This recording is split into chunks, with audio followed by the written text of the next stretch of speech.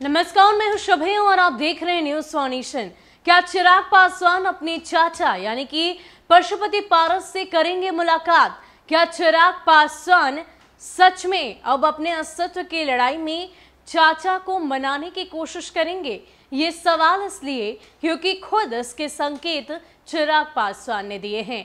आपको बता दें कि जल्द ही केंद्र में मानसून सत्र की शुरुआत होने वाली है और इस मानसून सत्र के दौरान चाचा भतीजे की मुलाकात तय मानी जा रही है और इस मुलाकात के दौरान क्या वाकई बात बन जाएगी या बात और भी बिगड़ेगी ये तो आने वाला वक्त ही बताएगा, लेकिन फ़िलहाल चिराग पासवान जिस तरीके से आक्रामक नज़र आ रहे हैं, लगातार आशीर्वाद यात्रा को लेकर उनकी तरफ़ से तैयारियाँ की जा रही है। हर वो ज़ोर आजमाइश की जा रही है कि किसी भी तरह से पार्टी में अपने वर्चस्व को बनाकर रखा जा सके। आपको बता दें कि चिराग पासवान ने पहले भी इस बात की चर्चा की है कि लोजपा सिर्फ़ और सिर्फ़ उनकी है और अब तो उन्होंने चुनाव आयोग को पत्र तक लिख डाला है कि पार्टी का सिंबल, झंडा, स्लोगन किसी को भी इस्तेमाल करने की अनुमति नहीं है। क्या कुछ जानकारी है हमारे पास? आपको पूरी खबर विस्तार से बताते हैं।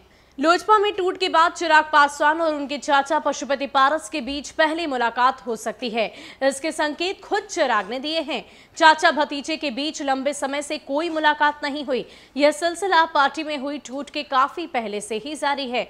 चाचा पारस के नेतृत्व में परिवर्तन की मुहिम शुरू होने के बाद चिराग ने खुद उनके बंगले पर जाकर मुलाकात करने की कोशिश की थी। हालाँकि यह संभव नहीं हो सका। पत्रकारों से बातचीत के दौरान चिराग ने कहा कि संसद के मानसून सत्र में उनकी मुलाकात चाचा से हो सकती है। चिराग ने कहा कि वो खुद अपने और उनके चाचा पशुपति पारस दोनों ही सांसद हैं। ऐसे में मानसून सत्र के दौरान उनकी मुलाकात होना कुछ अस्वाभाविक नहीं है। इसके साथ उन्होंने ये भी जोड़ा कि पार्टी पर हक की उनकी लड़ाई जारी रहेगी। उन्होंने कहा, लड़ाई लंबी चलेगी। पार्टी के छह में से पाँच सांसदों के पशुपति पारस को राष्ट्रीय अध्यक्ष चुन लिए जाने को चिराग असंवैधानिक बता रहे हैं।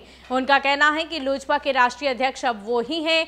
उन्होंने अपनी चाचा को पार्टी का नाम सिंबल इस्तेमाल करने से रोकने की बात कही है। अपनी पार्टी में विद्रोह का सामना कर रहे चिराग पासवान की आशीर्वाद यात्रा का दूसरा चरण शुरू हो गया है।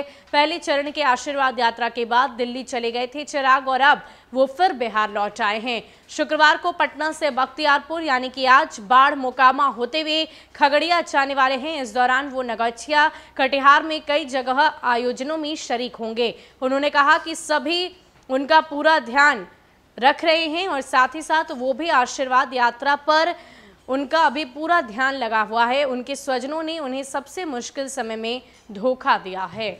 तो पार्टी में जब से विद्रोह का सामना चिराग पासवान ने किया है, तब से लगातार आक्रामक रुख उन्होंने अख्तियार कर रखा है। लगातार हिम्मत के साथ आगे बढ़ रहे हैं और इस बात की चर्चा लगातार उनकी तरफ़ से की जा रही है कि बड़े ही मुश्किल समय में उनकी चाचा की तरफ़ से, उनके परिवारजनों की तरफ़ से उन्हें धोखा मिला। अपने ही घर से उन्हें बेदखल कर दिया गया। हालाँकि इन सब के बीच अब ये मुलाकात तो तय है। एक तरफ़ सांसद खुद चिराग पासवान भी जमुई से हैं। दूसरी ओर पशुपति पारस भी। अब ऐसे में देखने वाली बात होगी कि इन दोनों की मुलाकात के बाद कौन सी नई तस्वीर सामने निकल कर आती है। ज़्यादा अपडेट के लिए आप बने रहे न्यूज़ फॉर नेशन के साथ। नमस्कार।